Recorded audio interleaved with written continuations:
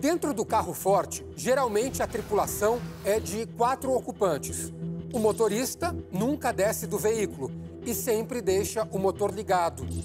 O fiel é o responsável por carregar os malotes de dinheiro. O guarda 1 e o guarda 2, também conhecidos como escolteiros, protegem o fiel durante o transporte dos valores. São as empresas que definem as funções de cada vigilante. Mas, independente do papel que irão desempenhar, o trabalho exige treinamento exaustivo. É como se fosse uma grande coreografia. Todos os passos têm que ser sincronizados. Um vigilante precisa saber o que o outro vigilante vai fazer logo em seguida. O momento mais tenso é quando o fiel, que é quem carrega o malote, ou seja, o dinheiro, sai do veículo em direção ao local em que essa quantia vai ser deixada. Nada, absolutamente nada, pode sair errado neste momento.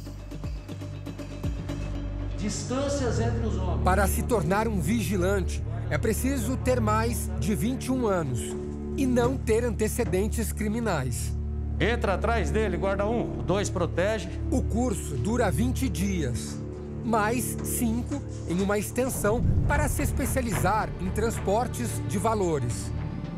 São perto de 500 mil vigilantes hoje no Brasil. Você pode imaginar que você tem aí 7, 8% voltados ao transporte de valores. A média salarial de um vigilante de carro forte? Ah, ultrapassa 3 mil, 3.500 reais.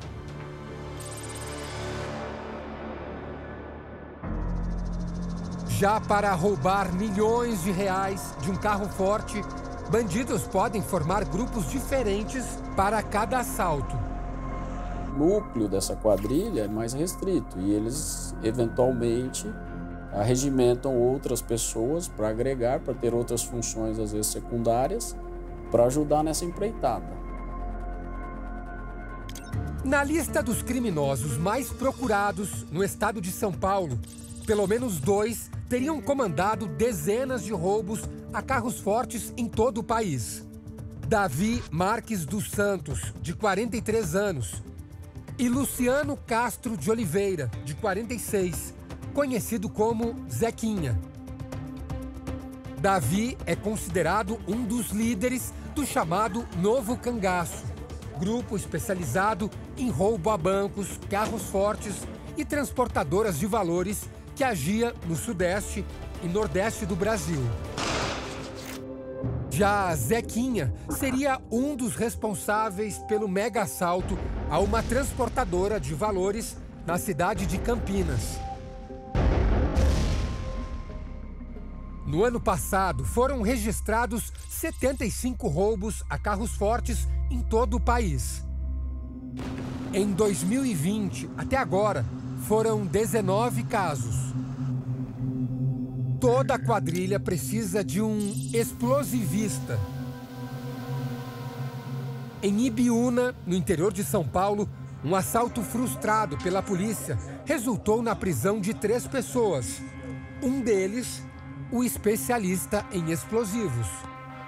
O Metralha fez um artefato engenhoso ali, pouco visto, né? Tava tudo aceso os bagulho lá. É um tipo de um celular que ele aciona o, o equipamento eletrônico que está instalado na, no detonador do, do explosivo. O bando precisa ainda de um especialista em armas. Ele também é responsável por manusear o armamento mais pesado. E olheiros, que tem uma função menor, mas não menos importante. É a pessoa que vai jogar os miguelitos, né, para dificultar a ação da polícia. Os custos com explosivos, armas, carros blindados e algumas vezes o aluguel de imóveis onde funcionam o QG das quadrilhas são altos. Para fazer um roubo aí, pelo menos é, de carro forte, aí eles fazem pelo menos 300 mil assim, fácil. E o lucro obtido com os assaltos vai abastecer outros tipos de crime.